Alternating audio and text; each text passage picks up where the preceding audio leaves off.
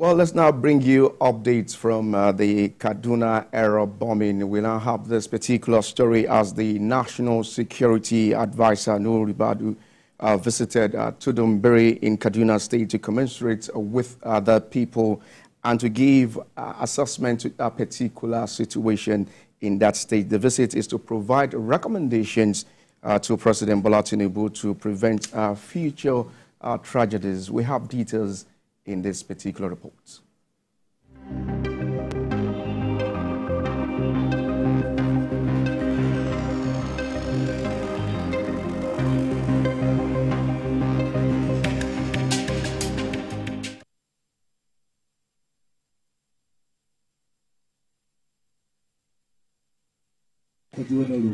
Emotions continue to run deep in Tudunbiri, Kaduna. The community still mourns the loss of 85 individuals killed during an aero bombing incident by the Nigerian army last Sunday. Many others who sustained injuries are currently receiving treatment in various hospitals across the state. Government and military officials have been actively engaging with the affected community and hospitals to express their condolences and support for the victims and their families.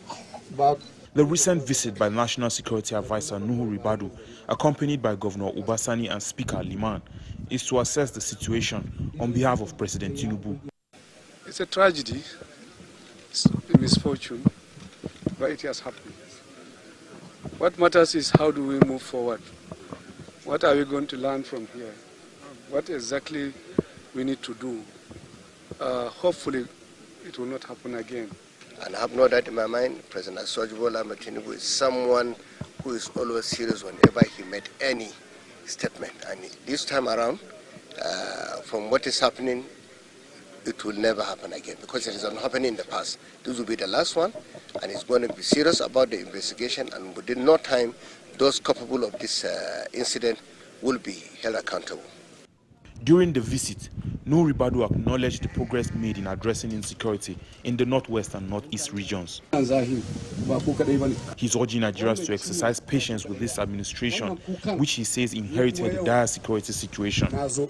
Because we take assessment, every single loss of life is documented, recorded.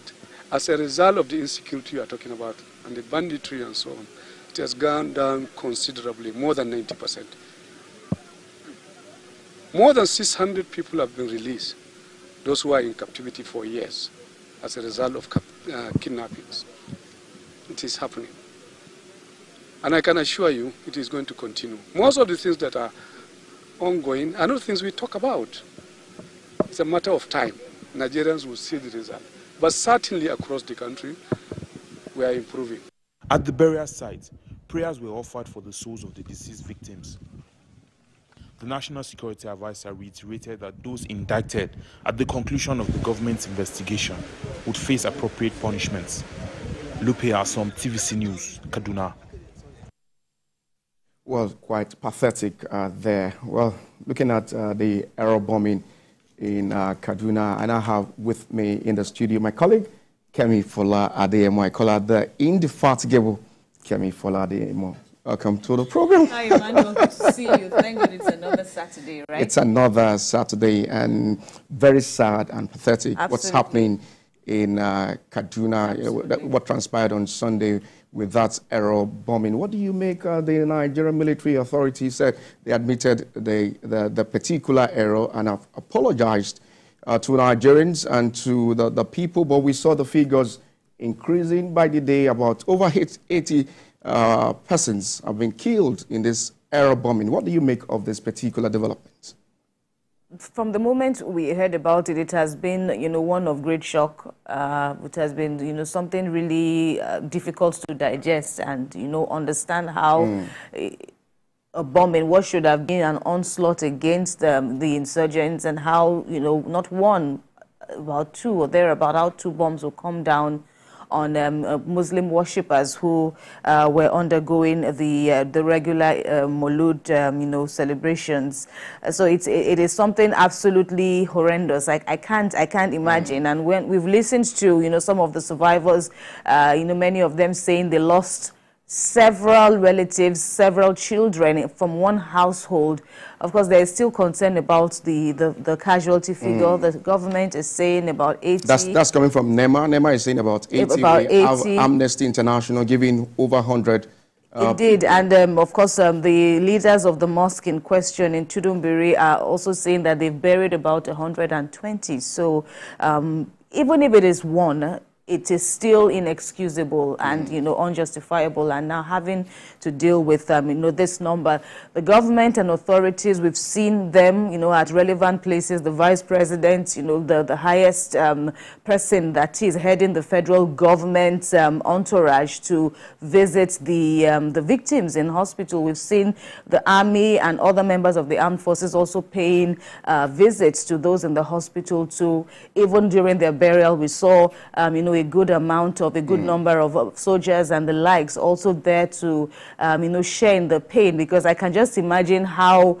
they must be feeling right now. And um, but it doesn't matter. A very, very decisive investigation, a very incisive probe mm. is um, has and, been and promised. And the president is also speaking tough on this particular yes, development. Yes, that's the, the authorities have mm. promised, you know, a very in-depth probe, mm. and we hope that it will not stop at that. That probe will be gotten in no time. If anyone needs to be excused, if anyone needs to be relieved, that should happen.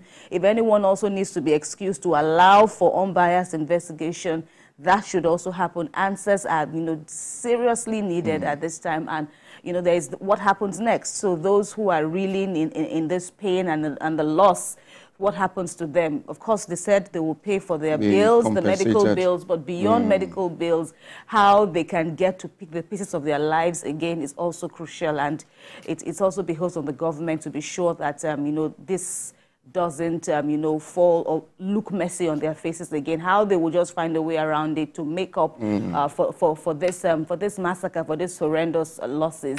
It's, it is expedient they do so. Well, we did a research on um, uh, the timeline of error bombing, if I can have that on the screen at the moment. Um, between September 2017 uh, to 2023, we had this about over 425 persons, including children and women, were killed in error bombing. Right. Uh, there's a timeline that we also did the research of that. If you can have that particular uh, development on the screen at the moment. And also in 2017, you could recall the, the Rann camp where, uh, yeah, yeah, the, the Borno state uh, was mistakenly bombed and killed about 52 uh, people, injuring about uh, 120. Still in Borno state, we have the, the NAF jet bombed um, uh, the, the Sakotu village, killing 17 people in 2020. Two years after, in uh, Niger State, another NAF jet reportedly killed six children in Kurebe village in Shiro local government area, as well as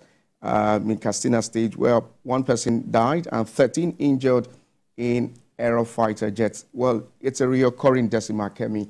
We can continue uh, with all this. In 2023, 37 persons, including uh, 27 pastoralists, uh, were killed after a bomb exploded at the boundary between Benue and Nasarawa. Then the latest, which is the highest so far, about 85 dead and over 66 injured in Tudunbiri, Kaduna State, uh, where the military drone mistakenly or erroneously hits a gathering of villagers who gather to do the annual Mulud uh, festival. Well, Kemi, it's a recurring decimal. We can continue on and on. We have the papers also saying uh, this development. But what is the way forward uh, concerning this? Should there be more military intelligence before you can strike? And um, it also comes down to the question of, okay, if you look at the, the budget you know, that is currently before the lawmakers, uh, we've seen and mm. you know, understandably so, the government saying that a sizable number of um, the uh, trillion naira budget for 2024 mm. will be going to defense uh, to enhance security apparatus in the country. And analysts after analysts have said that had always been the norm year after year. But what has been done? Has the security situation improved? improved. Uh, and so it, it, now comes down. And of course, we all know that the, the critical needs of the military, of security infrastructure, is um, you know, to boost its um, its its Mm. uh, warfare. And so this is another issue now. So it appears that there was something wrong with the coordinates uh, when the armed forces, you know, chose to go and uh, embark on that. I mean, on, on that assignment, which turned out Mm. I mean, to we, be, we just we just have to turned go. out to be a we just have to go now. One thing we need to uh, let Nigerians know and the federal government is that um, uh, investigations should be made. not just on this, but even on